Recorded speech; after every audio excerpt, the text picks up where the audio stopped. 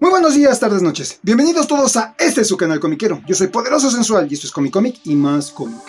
Hoy presentamos El Sueñero, Enrique Brescia, una de las joyas de la historieta argentina. ¡Chúpalo!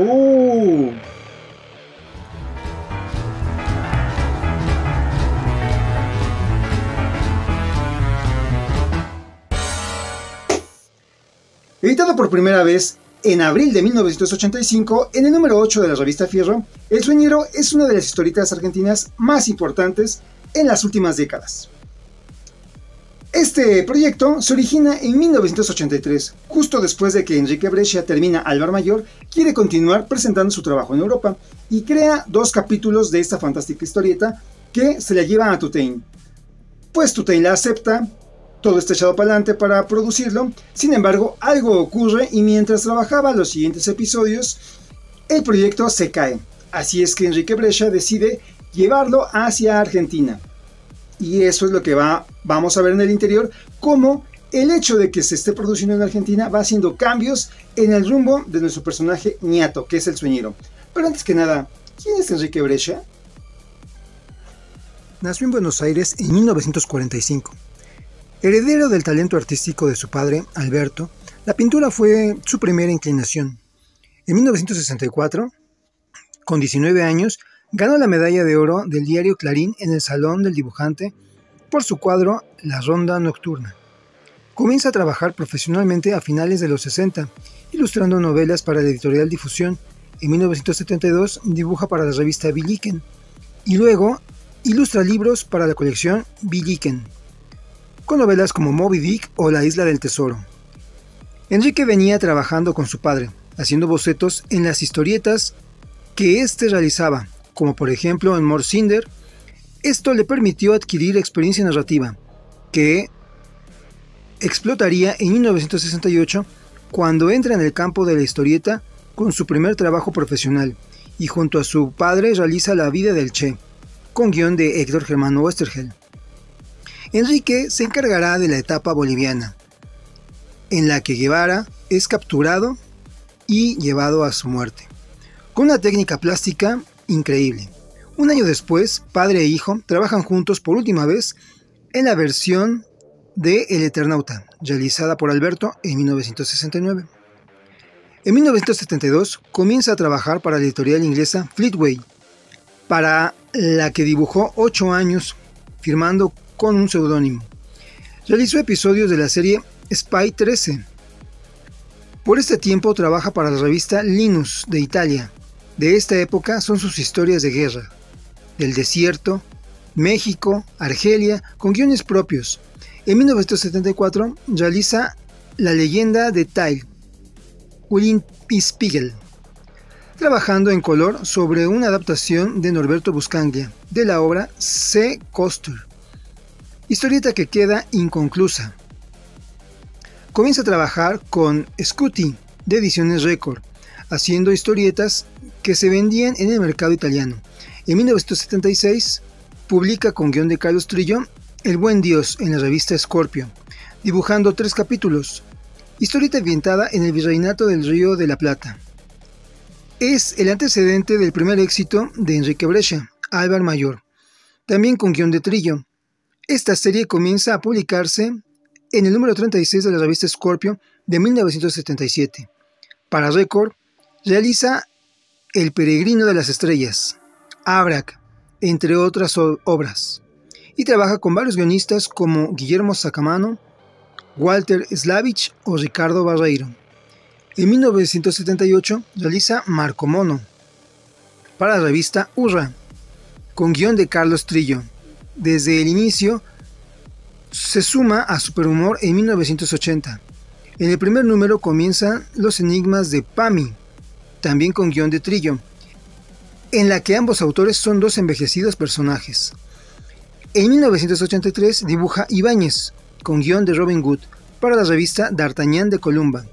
El primer número de Fierro cuenta con Brescia, que comienza haciendo adaptaciones, sigue con El Cazador del Tiempo con guion propio que firma con el seudónimo de Márquez. En un estilo similar a esta, realiza El Sueñero, en la que vuelca sus inquietudes políticas. Fue publicada en Fierro en 1985. Con Metro Carguero trabaja solo con guiones, como guionista, realizando el dibujo su amigo Cacho Mandrafina. También realiza El Reino Azul en color, sobre guion de Trillo.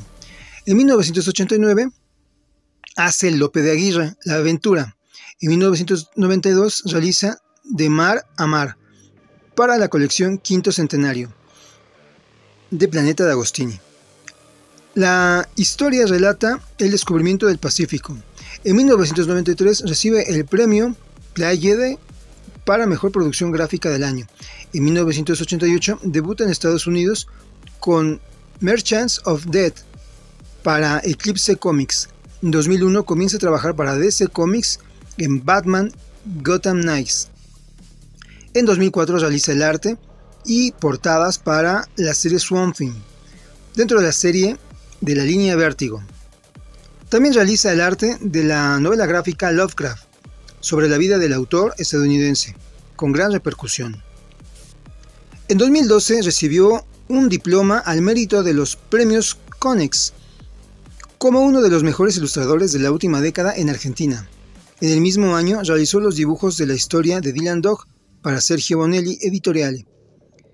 Para la misma editorial italiana dibujó un álbum especial, Tex, editado en 2016. Continúa trabajando y en víspera de nuevos proyectos. Y bueno, regresando a, este fantástica, a esta fantástica historieta, decir que eh, se va a ver muy reflejado esos cambios en cómo originalmente estaba pensado para el mercado europeo y cómo se fue transformando en un grito apasionado del autor para hablar sobre su país. En los primeros episodios vamos a ver cómo Niato es un, un guerrero que pues vende su espada y está en mejor postor y eh, bueno, aquí nos sitúan que está en una especie de futuro, en un lugar raro, en donde tiene la capacidad de viajar en el tiempo a través del mar.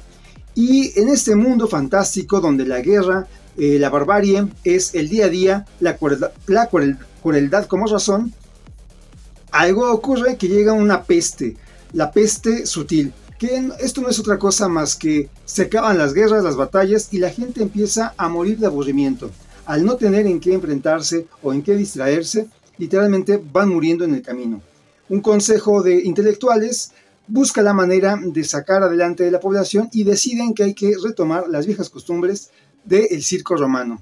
Y es Niato el encomendado de viajar a las diferentes eras en el tiempo-espacio para poder llevar a su tierra a los grandes guerreros, bestias indómitas, bestias terribles u hombres excepcionales guerreros que la partan. Así es como Ñato viaja y en su primera aventura lo vemos que llega a Grecia en busca de una bestia llamada Minotauro. Y bueno, con gran parodia, con gran humor, nos va llevando hacia lo que es la guarida del Minotauro, pero no antes sin visitar a el gran Diógenes aquel que dice muévete porque me tapas la luz del sol, aquí está.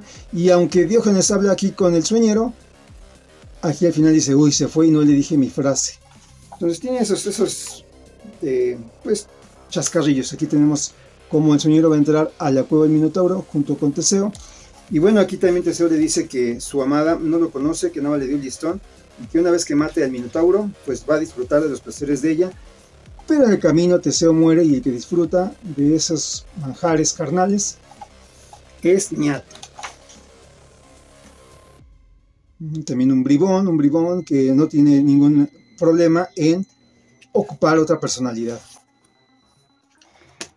Y bueno, así vamos a ver cómo enseguida va viajando por las diferentes eras y aquí se enfrenta al mismísimo Churchill. Vemos aquí que también ya trae una mala leche contra los ingleses y no es para menos porque recordemos en esa época está el conflicto entre Inglaterra y Argentina por las Malvinas. Y bueno, el maestro aquí no, no, pierde el tiempo y se ocupa de parodiar esa situación que hay entre las dos naciones.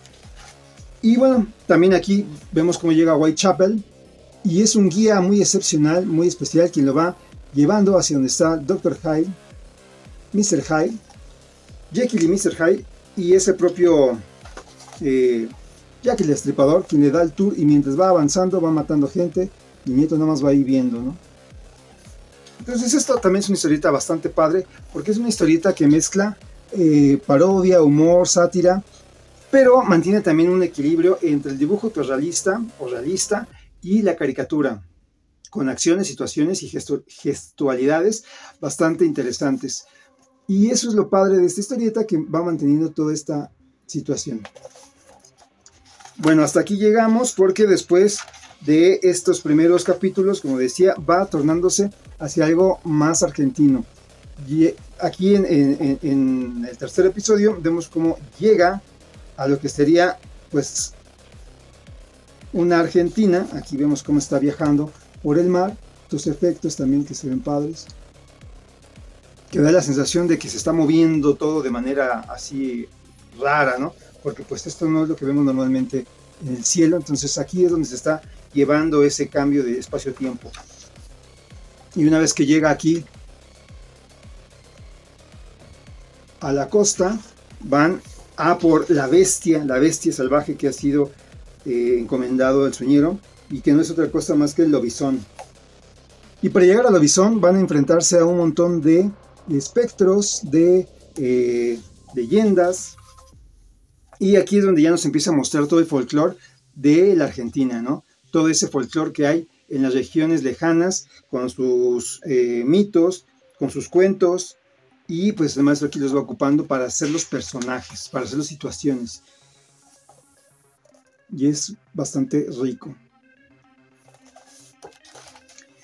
Y bueno, así va el sueñero hasta que se encuentra con el churri, chirreque, que es lobizón y que no es otro más que el, propio maestro Enrique Brescia, aquí jugando con su imagen y también haciendo algunos guiños a su padre.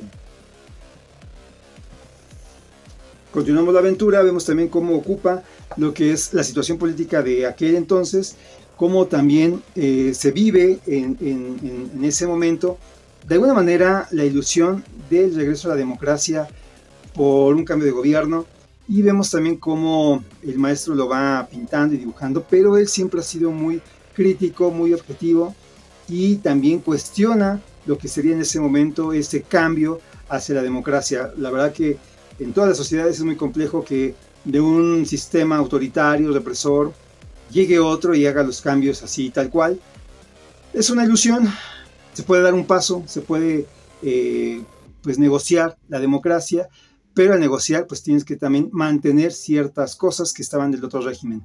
Y eso vamos a ver reflejado siempre en todos los gobiernos. No hay un cambio como en las historias, como en Star Wars que rompen la estrella de la muerte y todo es felicidad, hasta que después se tiene que expandir la, la saga y vemos que no fue así y trae un montón de cosas ahí que nos llevan al nuevo imperio. Esto, aunque suena chistoso, es eh, parte de lo que nos muestra aquí el maestro, cómo él es muy crítico hacia esos cambios y mantiene ahí el ojo visor y él nos manda y nos dice que detrás de toda esa eh, cortina que puede parecer la libertad hay un gusano y ese no es otro más que el gusano gringo que tiene ahí sus tentáculos, que tiene ahí su eh, misión.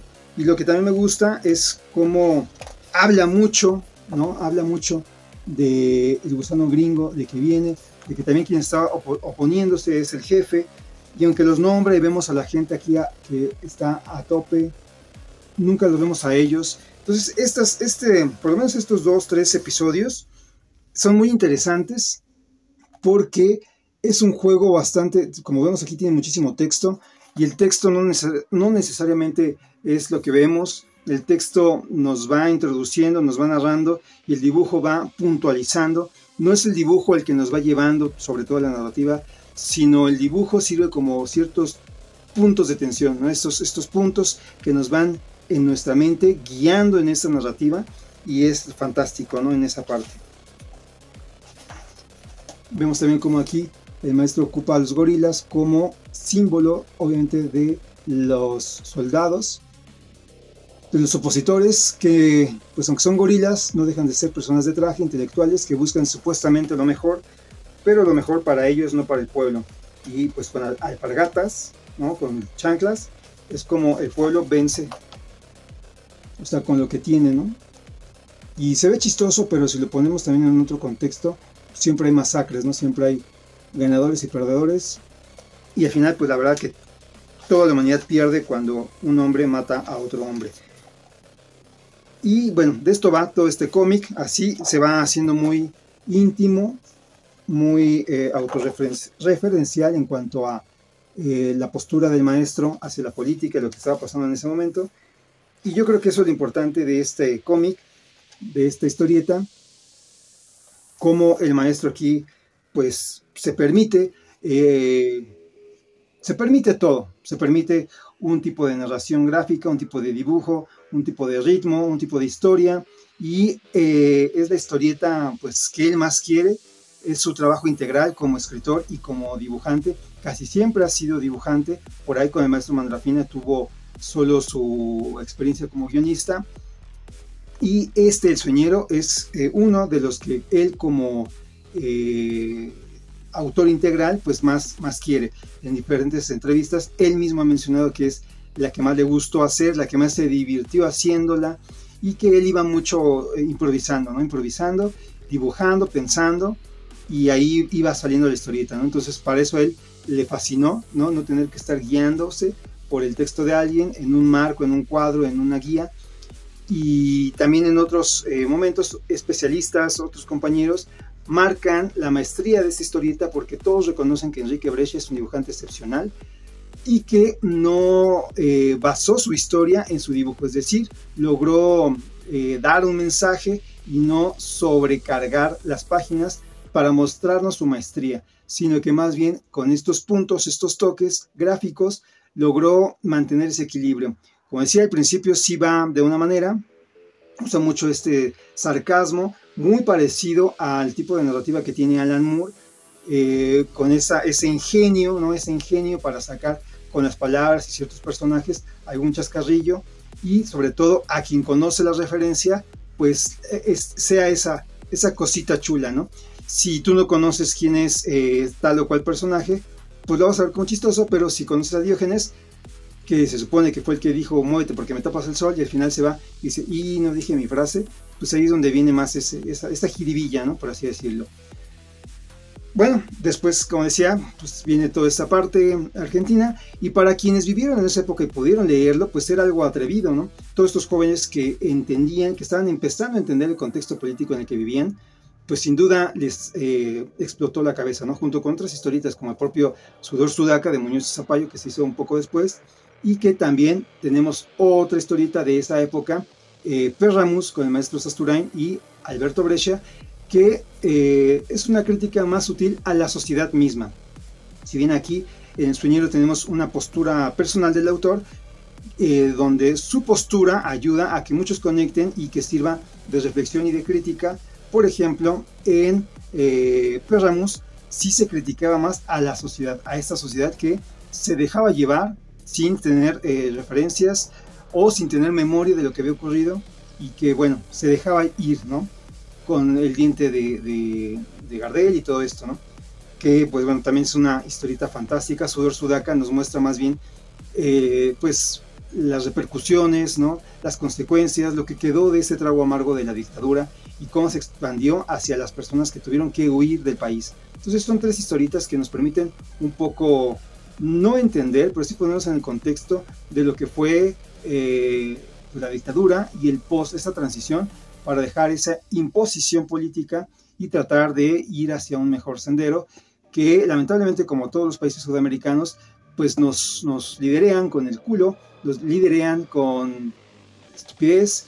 Eh, mi país mismo acá, México, no, no, no hay nada, ¿no? No, no hay líderes que realmente pues te incite, ¿no? Lamentablemente tú tienes que votar por el menos peor, no por la mejor opción, no por el más íntegro, el más intelectual, no, sino por el menos peor, el que cree uno que puede hacer las cosas mejor, aunque al final pues vemos que sigue siendo la misma puerca, solo que revolcada. Pero bueno, para no meterme en temas políticos, eh, sí decir que El Sueñero, sin duda, es una historieta bastante interesante y que a todos aquellos que aman el mundo de las viñetas, pues sin duda será un deleite poderlo ver, leer y disfrutar. Y si has conocido más del maestro Enrique Brescia, podrás ver también todo esta, este desparpajo, este eh, lucimiento gráfico que él tiene, ¿no? Como decía en su biografía, es un tipo que ha estado pues con la crema innata, ha estado en las mejores industrias, por ahí falta creo la japonesa, y solo sería eso. Y tal vez no está porque no le interesa. No es algo que él esté buscando, y pues también eso lo marca como un autor de mucho respeto, ¿no? Ya que él está donde tiene que estar porque él quiere estar, no porque se abre una oportunidad y quiere tomarla, ¿no? Entonces, en ese sentido, es una personalidad muy fuerte, muy contundente y a veces controversial por las declaraciones que da hacia su propia vida personal. Pero eso no quita que tiene una mano fantástica y que siempre se le va a reconocer como uno de los grandes de la historieta eh, nacional argentina y mundial, global, del mundo, del mundo mundial. Ya me hice bolas, pero bueno, eso es. Enrique Brescia es un tótem, un referente y que yo siempre los invito a que le echen un ojo. Eh, sueñero de Enrique Brescia, pues nada, yo hasta aquí llego con esta fantástica historieta. Como siempre, te invito a que si llegaste hasta el final de este video, le des eh, like, compartas y sobre todo me comentes. Y siempre agradecerte que hayas llegado hasta este punto.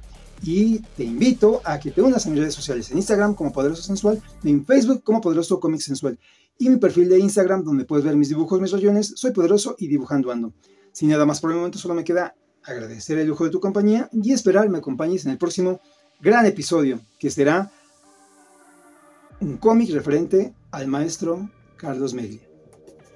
Poderoso sensual, con este especial de historieta argentina y con ese fantástico sueño de Enrique Brescia, me despido.